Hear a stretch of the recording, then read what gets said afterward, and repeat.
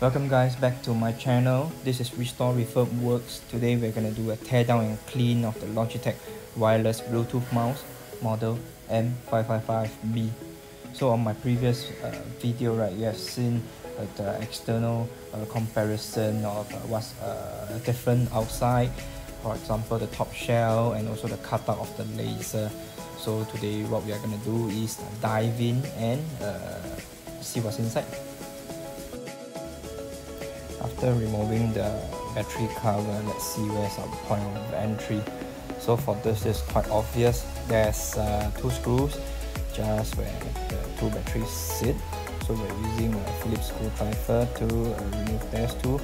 And uh, usually a telltale sign you can see underneath the um, mouse feet uh, it, should be hiding some screws usually. So lifting it up be careful because uh, if you observe if there's some buttons on the top shelf usually there will be uh, wires leading it to the motherboard. So now we're just uh, removing the cables before ripping it out. So this cable over here. In fact is linked to the uh, Windows button on top so that's still uh, okay and it's, some of the plastics are molded into the shell so uh, we're not going to touch it.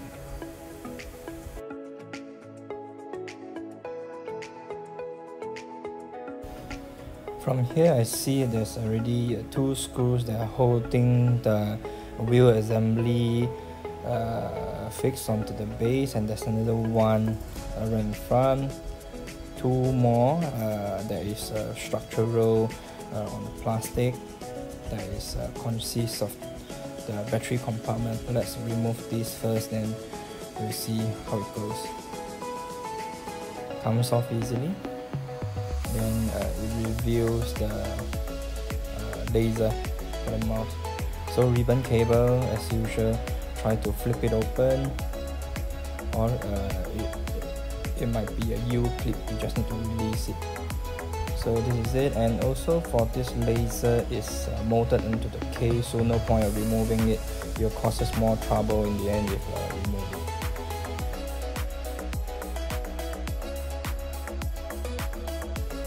so some more screws uh, securing the board to the base. You just need to remove them.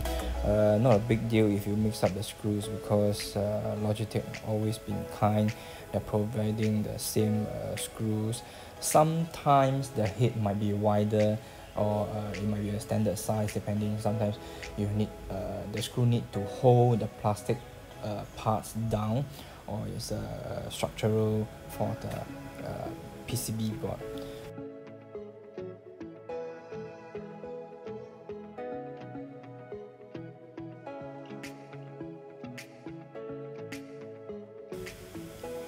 plastic piece securing the mouse assembly comes off first. You can see here I'm trying to put it back to show how it came off. Then the tricky part um, is this uh, wheel assembly is uh, quite complex. So if there's a need, uh, uh there's a faulty wheel, right? Uh, usually uh, it's removing and or replacing the whole assembly. Okay, as usual what makes the wheel pop up will be this big spring over here. On the other side there's another small spring for your actuator which is not seen in this screen. That one we need to be very careful because it's very very small and once it flies off you'll have a very fun time looking for it.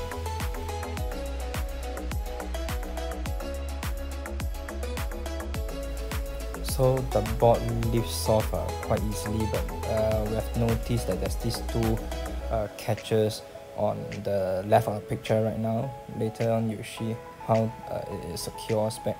So we leave this laser alone then we can go ahead with our uh, cleaning.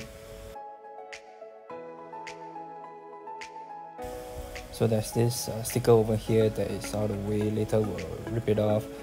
Okay then there's this plastic part uh, that holds on to the uh, mouse. Okay. The switches this for your reference. Any chances you need to change is on so most of them are interchangeable. Make sure that it's a 2 feet or 3 feet to solder on so closer look this slides on. And inside the, uh, the black part right there's also a very very tiny screw. Unlikely it will drop out because it's filled with some uh, grease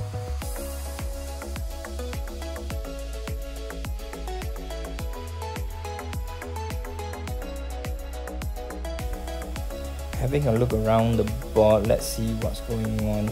So there's some uh, flux uh, residue some corrosion residue. Later we'll use our contact cleaner to clean it. Very densely populated um, PCB board over here. As usual uh, I'll spray the contact cleaner on the brush then I'll go through every part of it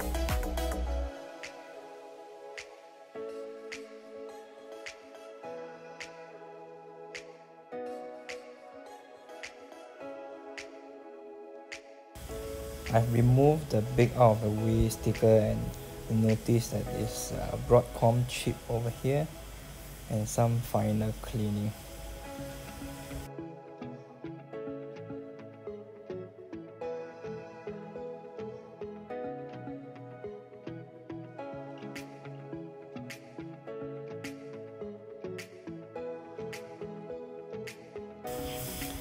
Again, for the external parts of the mouse and on the edges, I'll use um, IPA to uh, clean it, make sure to uh, remove all the grime from, and sweat from our uh, palms.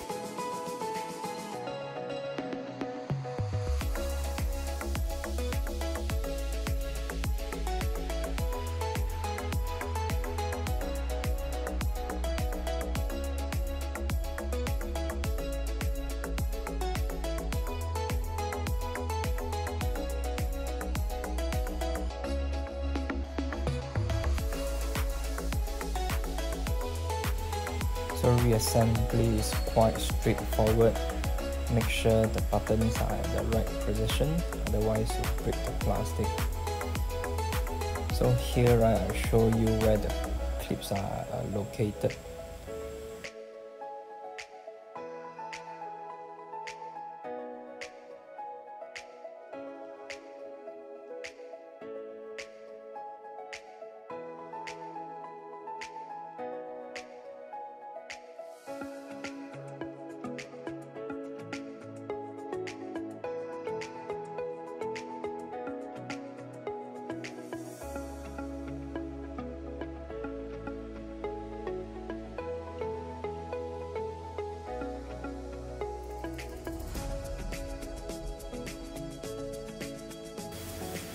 Installing the mouse assembly, make sure the springs are all in place and sitting on this uh, position so that you get a nice feedback.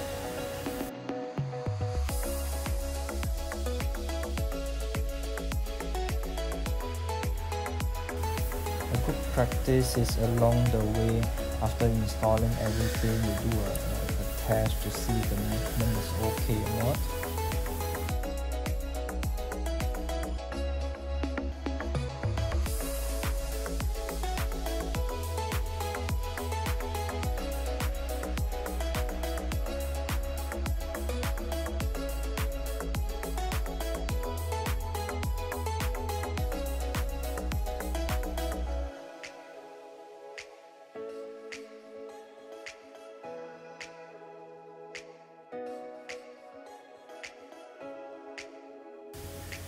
Another tricky part here is to reinstall the ribbon cable because it's uh, twisted in this angle, right? You need to use the tweezer to, to uh, put it in, but uh, be very very careful not to pinch it, otherwise, yeah, it's uh, gonna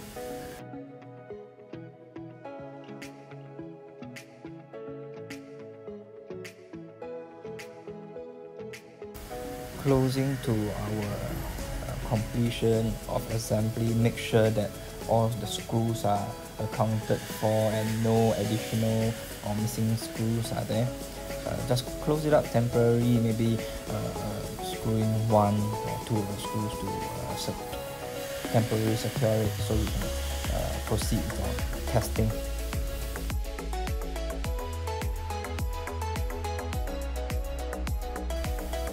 I find joy getting old, damaged, faulty stuff, trying to repair it and giving it a new set of life. So um, in the future videos, I'm consider giving it away to our local subscribers. Do stay tuned.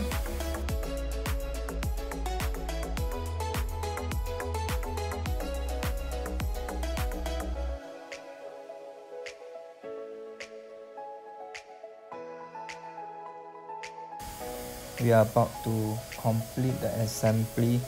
Thank you guys for staying until the end. If you have liked the video do click on the like button. Do subscribe to my channel for more videos to come. Signing off this is restore Refurb Werks see you in the next one